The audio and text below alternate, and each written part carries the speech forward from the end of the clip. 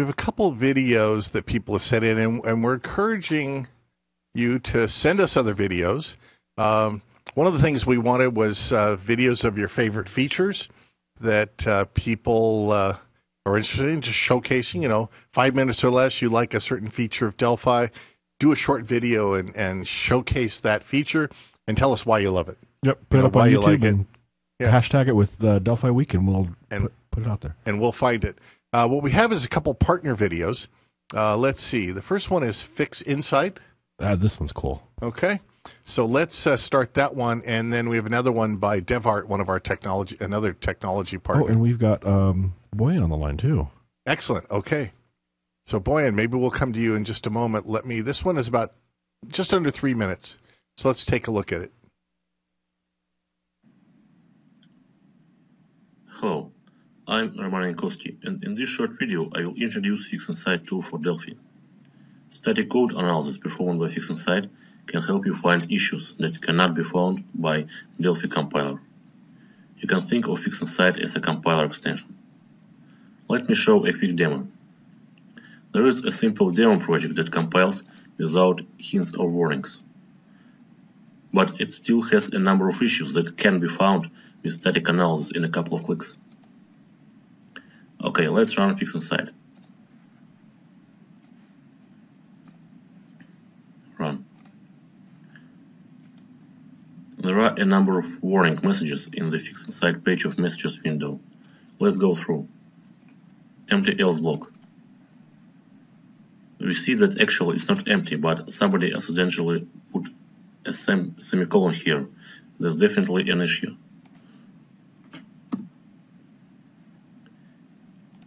Unreachable code. That's obvious. This line of code will never be executed.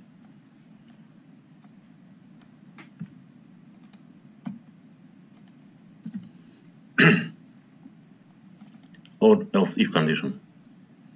It's usually a copy and paste issue if and else if statements have the same condition you see.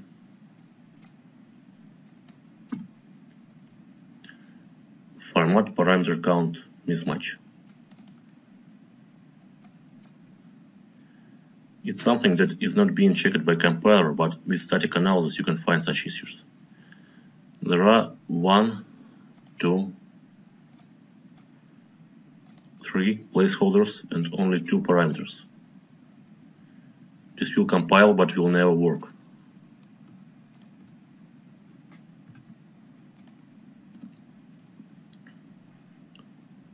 Loop iterator could be out of range. Definitely it will be out of range because minus 1 is missing. Fix has even more rules and checks.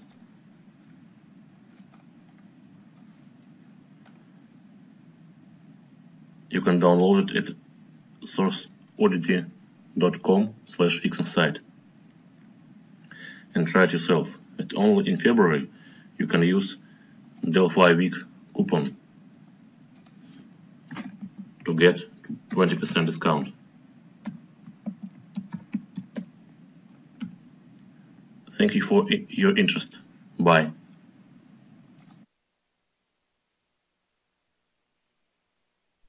Okay, that was really cool. So, Jim, go Yeah, everything he showed there, I've done before in my code. At least once. and again, that was uh, the URL was Fixed. It's a uh, source code oddity. Okay. I have it right here. I'll put it in the chat window. Great.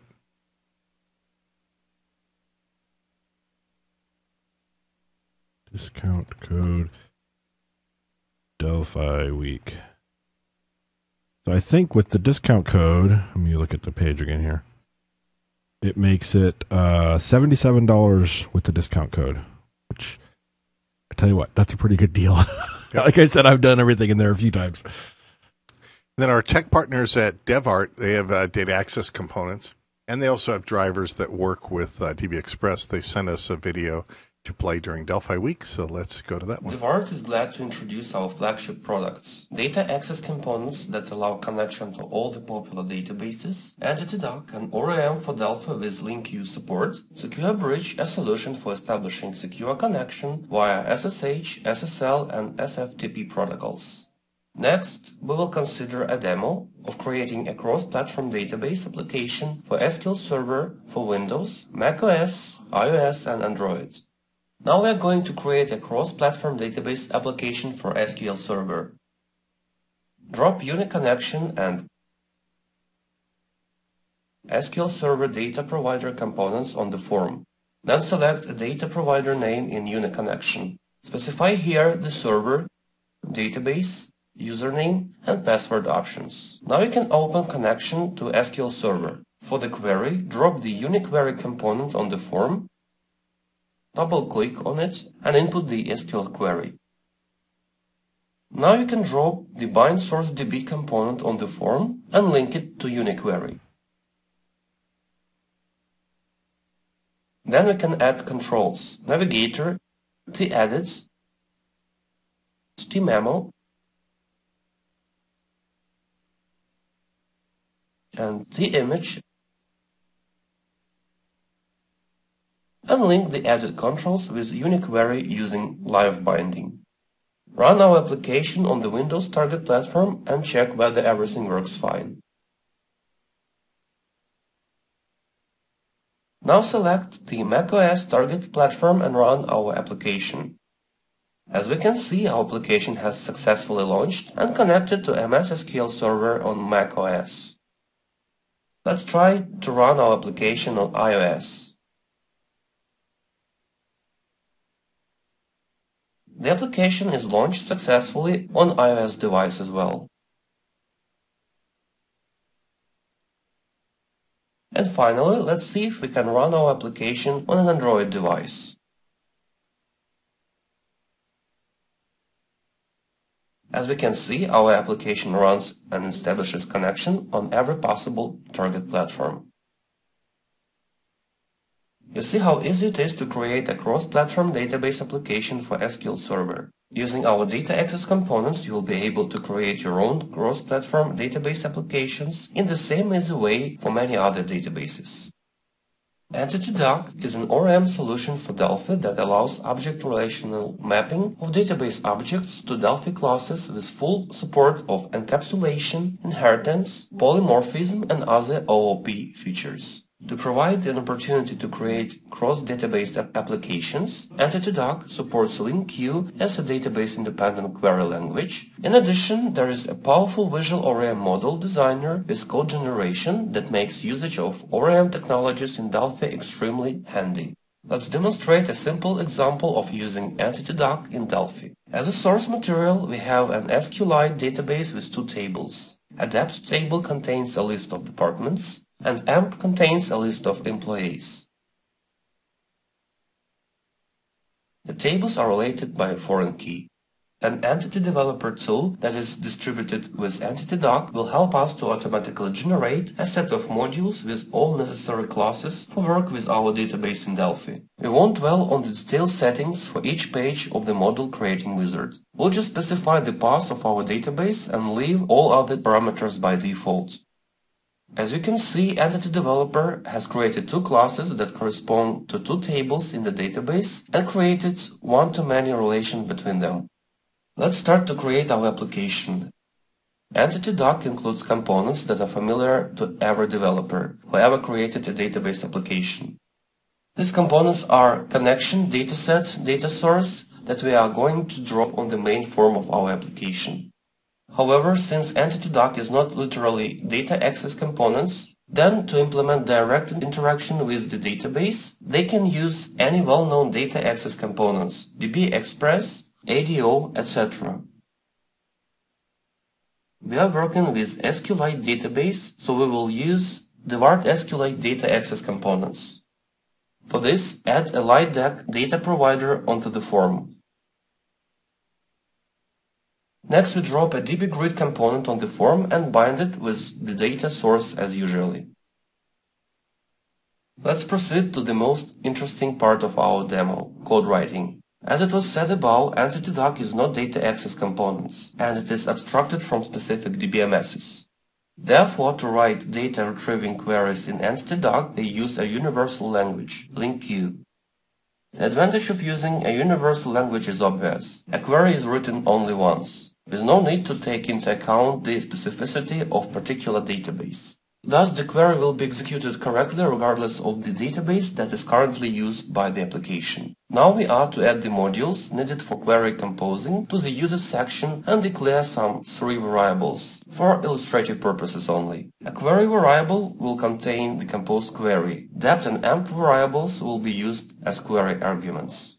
As you can see, the LINQ language implementation in EntityDAC is maximally convenient for programmers, and it allows using all the capabilities of, of the code editor when writing queries, such as tooltips. This eliminates errors at the level of code writing. The final step is to tell the data context to execute our query and to specify the retrieved elements collection as a data source for the dataset components. Now we can compile and run the application.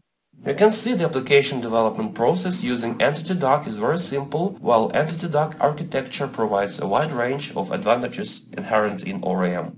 Thanks for attention. For more info, visit our website. Okay, that was great. That was another example. Let me uh, switch back to the Delphi page. There we go. Of uh, videos people are sending along. Um, and now I think, uh, Jim, if you want to bring Boyan and Boy, Boyan Mitov of Mitov Software is uh, is on with us, and I think we're just getting him connected in. Uh, Boyan is doing a technology partner spotlight in a few weeks, but uh, he's a well-known member of the Delphi community, uh, tech partner as well. So Right, let's. Boyan, you should be unmuted now. Hello. Hey guys, congratulations on the 20th anniversary. It has been a fantastic ride. Yeah, no, we're we're uh, we're having fun. We're also, you know, trying to make sure that we're listening to the the Delphi members and and how we're looking forward and moving forward as well. I can't wait to see your your technology partner spotlight uh, here in a, in a few weeks uh, on a Friday. But I saw that you were an attendee and wanted to get the chance to say hi. Uh, and uh, why don't you tell everybody a little about Mitov Software? But even before that, about uh, how did you uh, how did you hear about Delphi? When did you get started in Delphi? And, and what's your favorite feature of Delphi?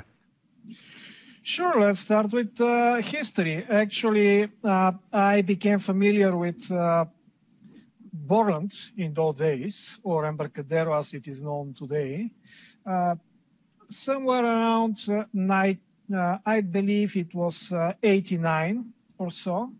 And 89 or 90, uh, I was doing, uh, I was learning C++, and uh, then there was uh, this Turbo C++ thing. That was a fantastic tool from uh, Borland, and I started using it in uh, version one of uh, Borland C++, Turbo C++.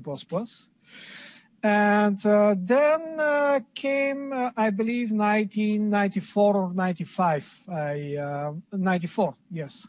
So I was doing heavy Turbo C++ development, mainly in DOS. And I was trying to do some development in Windows, and we needed to connect to some database and extract information from the database and stuff. And uh, then this fantastic tool came called Delphi One, and I jumped right into it. And uh, I mean, boy, was it uh, fantastic! So that's how I uh, got familiar with uh, Delphi, and the rest is uh, history, I guess. So that is that is briefly the history of how I became to know Delphi. And Boyan, why don't you say a few words again about Mitov Software, your software Sure. company that builds components? Let me bring up uh, the page Thank you. uh, if I can do that correctly. There we go. Here we go. Well, we offer uh, components uh, for Delphi and C++ Builder. Uh, they are for uh, video processing, audio processing, digital signal processing, computer vision, artificial intelligence. Uh, we have uh, visual instrumentation components such as uh, gauges, uh, clocks, displays, and stuff.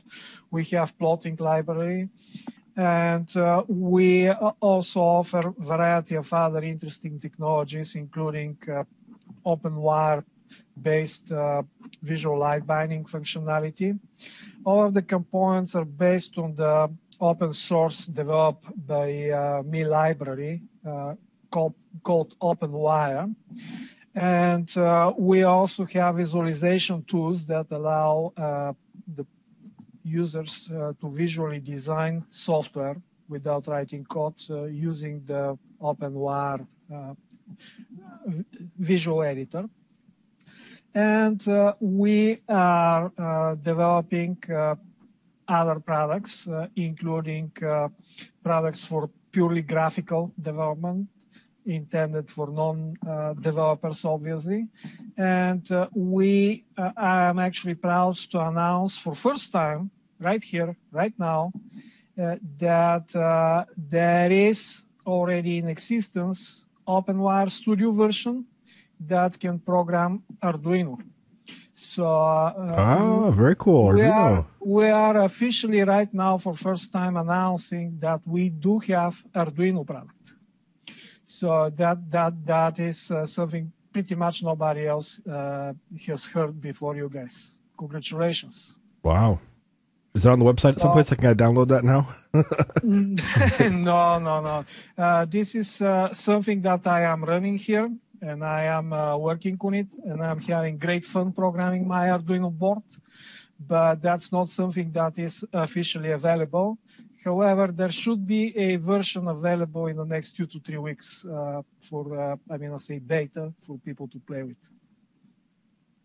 There's a question here from Jatin. He says, "Do you have any uh, s- components that'll allow you to take images and create a movie?"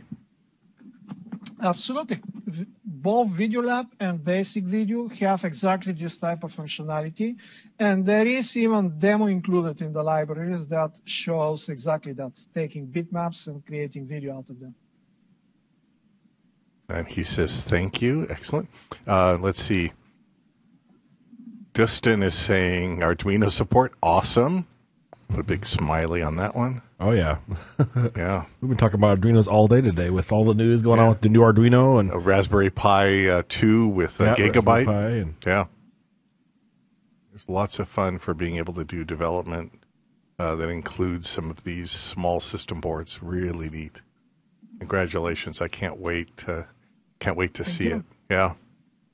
But I know. I, I, go ahead. I don't. I don't know if. Uh, I don't know if uh, uh, GoToWebinar allows that, but uh, I can even show you a sneak peek if you wish. Yeah, we can. I think what we can do is just make you, uh, since you're a panelist, we can make you a presenter. Uh, we'll do that uh, if you're ready. You can decide when you want to turn on uh, your when when you want to turn on your screen. Me, so you can give me um, ten seconds. Okay, uh, no problem. I turned on. He's on. You're on presenter, so since you turn on your screen, you can show it. So yeah. how, how I can select? Okay, I think I can select uh, monitor one. Okay. Yep. So can you see the monitor? Not yet. Uh, now we can. Yeah. Okay. Well, this is uh, this is COT ops. Yeah, it went to the wrong monitor, of course, but um, yeah, we'll we'll, we'll uh, demonstrate a uh, control, let's say, of a uh, stepper motor. So let's say I'm dropping a stepper motor and I can connect it to four of the pins on the, on the Arduino board. It's been a long day, obviously, here. And uh, now, uh, once when this is done, of course, yeah, I can do some other settings. All I need to do is press this button the code is generated and I can compile it and I can program it into my board. And I can put logic, I can put, uh, uh, I can uh, put uh, some math functions and everything else and uh, decide how the things are going to be controlled. I can set the matter the motor to be enabled or disabled based on uh, one of the other pins. So as example, I can connect this pin on Arduino to enable my motor. So I can put a button and this button can control, I mean, start the motor. And I can uh, select uh, the speed of the motor. I was actually experimenting with that earlier. Uh, I can take one of the analog pins, take uh, a multiplier, so we can uh, decide by how much we want to uh, increase the speed, put a coefficient, let's say, 100 times. And with this, with this, uh, with uh, this, in essence, design, I can control both enable the motor and I can control the speed of the motor.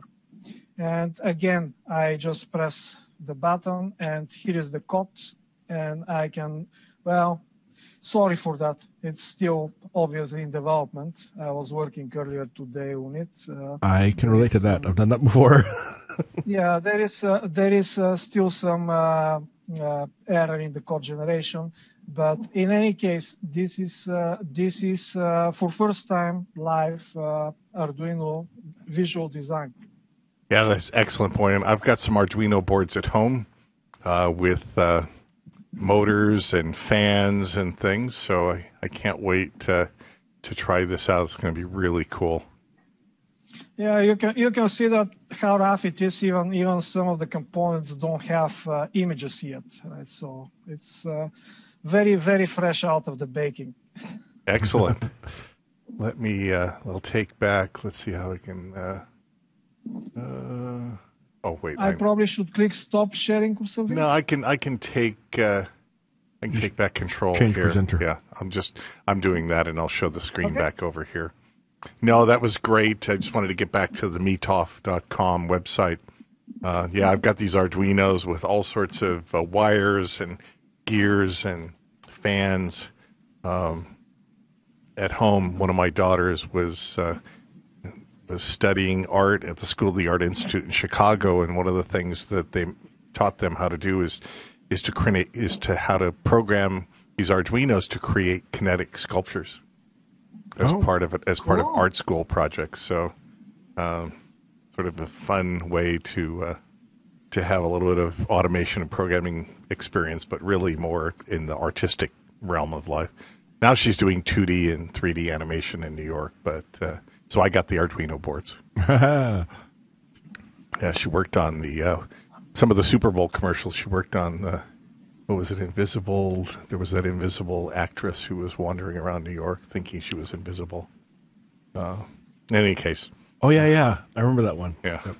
So, um, but I'm a proud father that way. But boy, and this is really great. Thank you for the sneak peek for everyone. Um, Everybody thought that was really cool.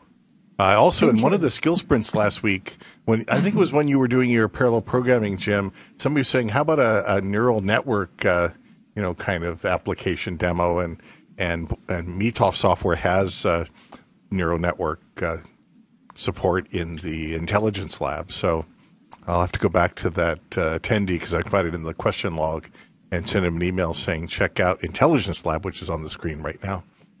Yeah. Yep. Actually, yeah, I forgot to mention it earlier. We have so many products that uh, we forgot to mention the artificial intelligence as yep. well. So, yes, we do have components for artificial intelligence.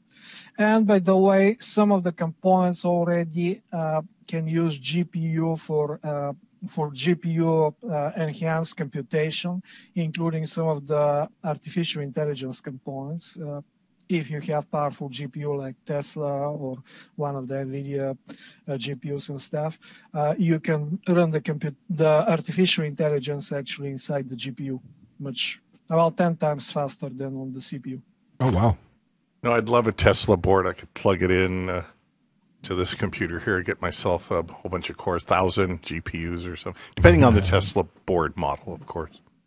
But uh, this is really great, boy, and I, again, I can't wait to uh, to see more of what you'll show on the technology partner uh, spotlight that's coming up. And oh, I should remember where that is again while we're here. Not that one. I've, this is why somebody's saying, "How come you have so many?" Uh, oh, I got to go back further. Uh, I'm, I'm close. Close. I'm getting close. I've got the link up here. Oh, you do? I'll I'll change over and I'll just do the. Uh, Oh, I found it. found it. Okay. I got to it.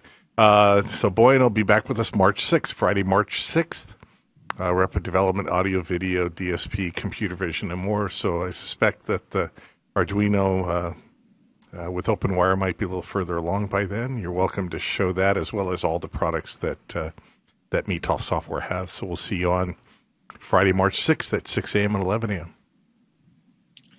Fantastic. Thank you, guys. Okay, thanks for taking part in Delphi Week. Uh, we'll make sure to uh, tweet out uh, for people to, to check back with Mitov Software's website uh, if they want to, uh, if, or if they have uh, a need for doing Arduino based development. Very cool.